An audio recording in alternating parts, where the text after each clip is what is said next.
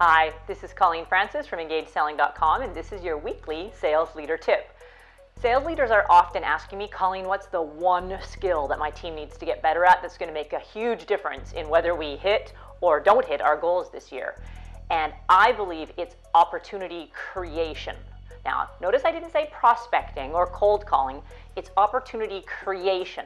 What I mean by that is your team needs to be absolutely perfectly skilled in the finding of new opportunities with brand new, net new customers, people who've never done business with you before, or finding and creating new opportunities inside your current base of existing customers. Why? Because your company is full of experts and people with long time sales ability, sales leaders, presidents who can help nurture that sale to close if you really needed them to.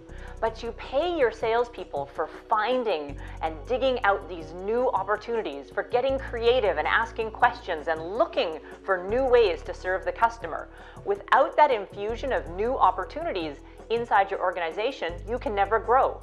Let's face it, your sales team could be perfect at closing, or maybe you, as the sales leader, close 100% of the deals that are brought to you. But if nobody finds new opportunities, whether they be with new customers or existing customers for you to close, then your business will ultimately shrink. So spend some time as you go into the last quarter of this year or the first quarter of next year working on opportunity creation. Get creative, set some goals, and when you have a pipeline full of brand new opportunities, your business will soar.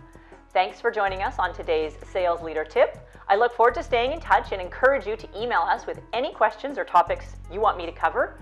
And for more discussions on in depth topics just like this, visit us now at engageselling.com.